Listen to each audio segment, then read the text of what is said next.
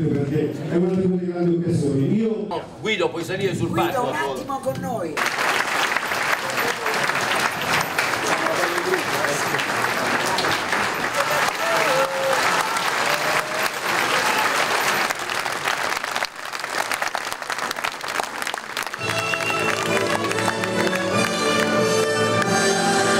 Sapete che abbiamo messo in campo una squadra di persone straordinarie, valide, che hanno grande esperienza di Parlamento come Paola Pelino, un applauso per lei.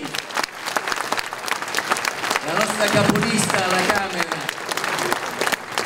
come Gaetano Quagliariello che è senatore della Repubblica, candidato all'uninominale, già eletto qui in Abruzzo, quindi per lui è la seconda volta che viene candidato in Abruzzo.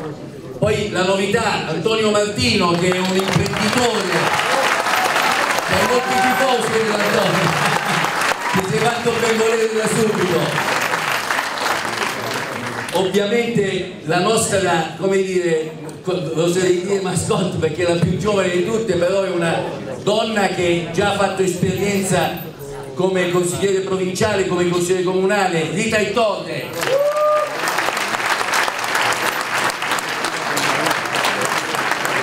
E infine Antonio Del Corvo che è stato presidente della provincia, lo conoscete bene. Guido Liris, Dulcis il Furgo, il vostro vice sindaco. Giustamente con Guido Liris permettetemi di rivolgere un saluto cordiale, affettuoso a una persona che ha dimostrato, pur non essendo aquilano, di essere davvero un protagonista in quei giorni difficili del 2009. Il generale Fabrizio Lisi, che oggi è con noi, comandante della scuola e sottufficiale della Guardia di Finanza, merita il nostro applauso, ha amato questo popolo. Insieme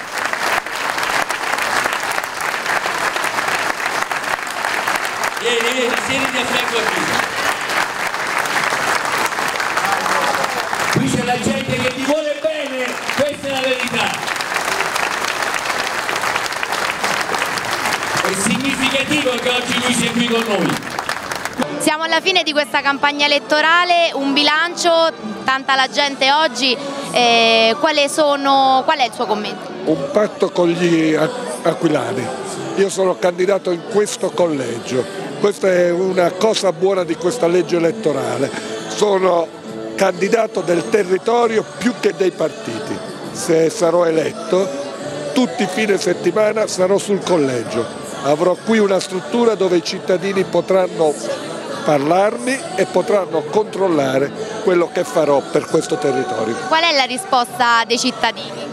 È stata una campagna elettorale nella quale chi ci ha messo la faccia ha potuto avere le domande e le risposte dei cittadini. Altri si sono nascosti dietro un simbolo e questo è una mancanza di rispetto nei confronti degli elettori perché nell'uninominale si scelgono le persone e non soltanto i simboli. Soddisfatto? Soddisfatto della campagna elettorale, molto molto stanco e comunque abituato a metterci la faccia, ce l'ho messa una volta di più. Chiusura di campagna elettorale, quali sono, volendo fare un bilancio, ecco, cosa si potrebbe dire?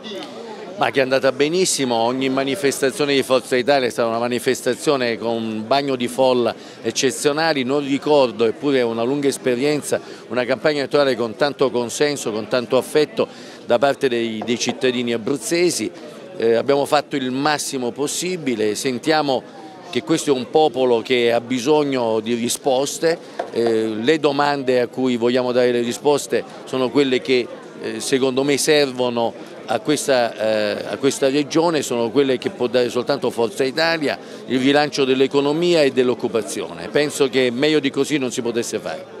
In chiusura, chi è l'avversario temuto da- dal centrodestra o comunque da Forza Italia? Ma il nostro avversario ormai è il Movimento 5 Stelle, è evidente, c'è un, c'è un voto di pancia e noi vogliamo combatterlo con un voto di testa. Senatrice, chiusura di campagna elettorale, come è andato? Facciamo un bilancio di questi giorni, pochi ma eh, molto intensi molto intensi, molto molto, siamo so veramente soddisfatti. Prima del lavoro che abbiamo svolto tutti quanti, una vera squadra che ha battuto tutti i territori, tutti i comuni, dai più piccoli ai più grandi. Questa sera siamo qui nel nostro capoluogo di regione, siamo qui all'Aquila, l'Aquila dovrà dare un forte segnale di rinascita per tutto l'Abruzzo e non solo per questo territorio. E vediamo che c'è negli ultimi 7-8 giorni veramente c'è entusiasmo, quindi stiamo raccogliendo consensi, siamo certi di fare un'ottima figura e di regalarla al nostro grande Silvio Berlusconi. Senatrice, qualora il centrodestra riuscisse a vincere ed entrare in Parlamento con un Premier, cosa cambierebbe per il territorio abruzzese? Beh, è un'altra storia. Noi abbiamo sofferto in questi ultimi sei anni con i governi del centro-sinistra che si sono alternati, abbiamo sofferto perché stando all'opposizione tantissime cose che avremmo voluto fare per il nostro territorio, per la nostra regione, non sono state accolte in quanto opposizione. E quindi la prima cosa che vogliamo, tornando a governare mettere in piedi il nostro programma, un programma che a detta di tanti economisti può ridare veramente slancio all'economia del Paese, un eh, programma che ridarà dignità all'Italia e agli italiani finalmente gli imprenditori potranno continuare a lavorare nel nostro paese perché con la flat tax da un eh, peso fiscale del 73% potranno arrivare al 23% e questo si traduce per, con mantenimenti del posto di lavoro e soprattutto con nuove assunzioni. Oggi la visita di Guido Bertolaso qui all'Aquila, una visita che ha creato qualche polemica. Come risponde il centrodestra aquilano e in particolare il vice sindaco appunto Guido Liris? Mm, Guido Bertolaso è una persona che ha dato tantissimo a questo territorio, in particolar modo all'indomani della tragedia che ha colpito nel 2009 la città dell'Aquila e tutto il cratere. Oggi è un momento importante, dovrebbe essere presa come un'opportunità quella di oggi è l'occasione per riabbracciare una persona che reciterà un ruolo importante per questo territorio e per questa nostra nazione anche nel prossimo futuro. È una sfida che dobbiamo raccogliere tutti quanti insieme.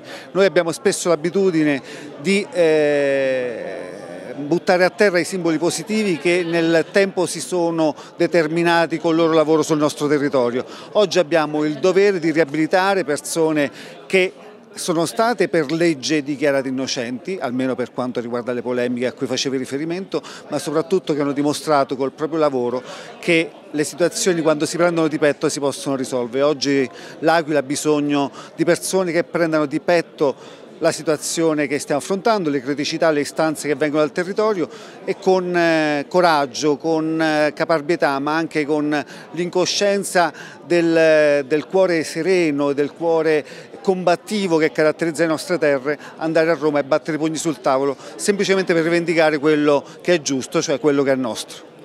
Proprio qui nove anni fa c'era il COM e a, capo del Dipartimento della Protezione Civile c'era proprio Bertolaso, un caso o una scelta mirata? Mi sono consentito questo vezzo e mi scuseranno gli altri, questo, e adesso mi fai pure commuovere con questo ricordo Fu qui che io avevo una tenda medica, la tenda, ero responsabile della funzione sanità in quel momento, lo fui per otto mesi e Bertolaso eh, venne, lasciò tutti quanti fuori e chiese io voglio parlare con il medico di questo com perché voglio sapere da lui se è del territorio qual è la situazione.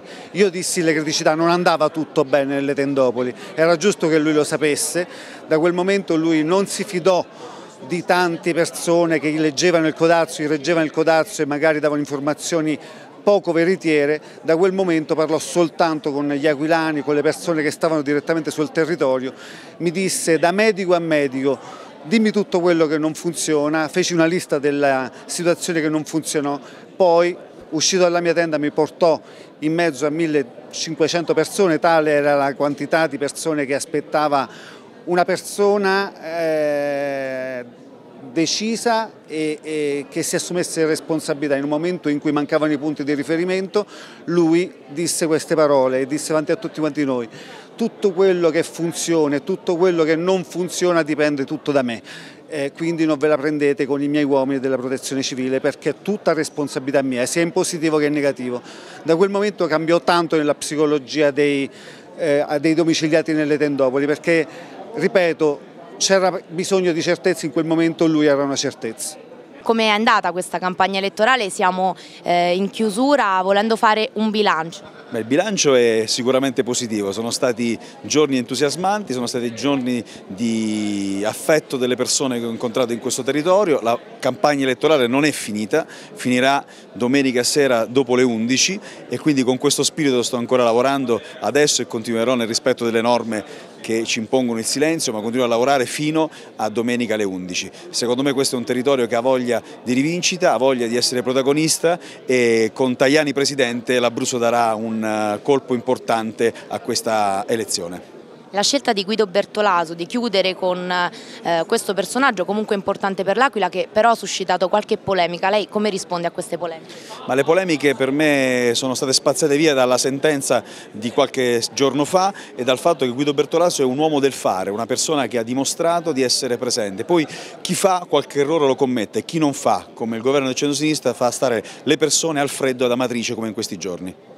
Ieri lei ha avuto un incontro con i giovani aquilani, un incontro ehm, lungo dove i giovani si sono confrontati appunto con lei e con Quagliariello. Eh, quali sono state le sue impressioni anche sul tessuto giovanile aquilano? Cosa chiedono i giovani? I giovani all'Aquila chiedono partecipazione, io quello che ho notato in, questa, in, questo mese di campagna elettorale è che le persone qui hanno voglia di fare politica e anche di essere presenti nelle sedi della politica. Per troppo tempo in questo territorio le sedi dei partiti sono state chiuse. Il segnale che noi abbiamo dato alla Fontana Luminosa di aprire la sede di Forza Italia che dovrà mantenere suo, la sua apertura anche dopo la campagna elettorale è una risposta perché i giovani vogliono avere anche un punto di aggregazione. È importante utilizzare Facebook, i sistemi di comunicazione moderna, ma c'è una forte richiesta anche di mura dove fare politica e confrontarsi e ai giovani questa risposta noi insieme ci impegneremo per darla.